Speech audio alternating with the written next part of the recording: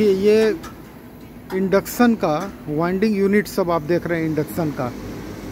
चार मशीन वहाँ लगा हुआ है, चार मशीन यहाँ लगा हुआ है।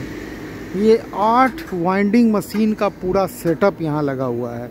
और इस तरह से कॉयल की ये वाइंडिंग चल रही है। अभी देखिए प्राइमरी स्टेज में ये कॉयल जो है, ये सिर्फ़ अभी वाइंड किया हुआ है। इसके बाद इसमें एन कनेक्टर लगाने का काम होगा। यहाँ पे कॉयल का मैं देख रहा हूँ कि जो रिपेयरिंग होके आया है, जैसे मान लीजिए एक कॉयल में भी कटिंग आ जाता है तो ये लोग क्या करते हैं, पूरी कॉयल को काट के हटा देते हैं और फिर से उसकी वाइंडिंग करते हैं। तो यहाँ पे एक शख्स उसकी वही रिपेयरिंग का काम कर रहे हैं कंप्लीट जो जो यहाँ से देखिए कट के आया है। इसमें हो सकता है कि कोई एक दो फॉल्ट निकला होगा तो वो सबको ओके किया जा रहा है, ताकि जनरली लोग क्या करते हैं कि एक कॉयल ख़राब हुआ तो उस एक कॉयल में जॉइंट देके उसकी रिपेयरिंग कर देते हैं। सर, यहाँ वो काम नहीं होता है।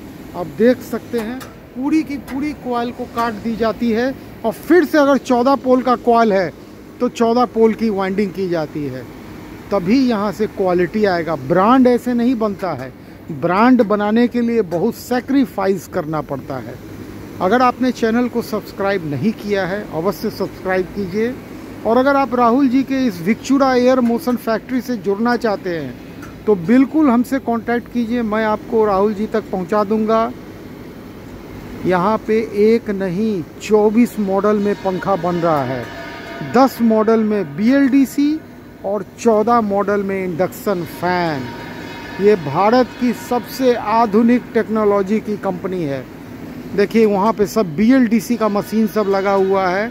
और जो वहाँ पे अभी रेडी है वाइंडिंग के लिए, वहाँ भी मैं चलता हूँ, आपको दिखाता हूँ। नमस्कार, जय हिंद।